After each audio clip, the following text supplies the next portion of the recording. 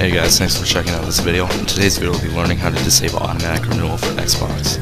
So before Microsoft got smart, you used to have to call into the center and try to get to a representative to disable your automatic renewal.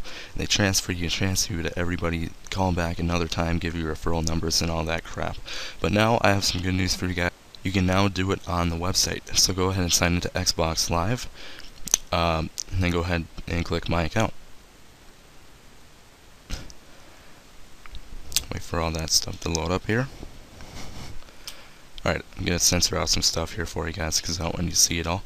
Um, so right here, you'll see your current Xbox Live membership and your gamer tag over here and your Microsoft points balance. So right here, you can see your renewal date and automatic renewal. You can now see it has a change link here. Go ahead and click that. And now they'll bring you to a page to try to remind you why you should keep automatic renewal on, but you can just go ahead and skip that if you want. Go ahead and click continue. And now you can see right here, you currently have Xbox Live Gold 60% off 3 months, which I just got today. It'll tell you your renewal date, and here you can do automatic renewal on or off. So, it'll give you a notice here that it's just saying that it will not renew at the end of your current gold membership. Um, I guess you don't really need to know that because that's why you're watching this video.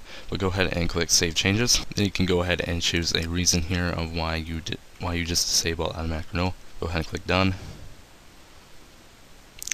And you can see here that your automatic renewal is now off.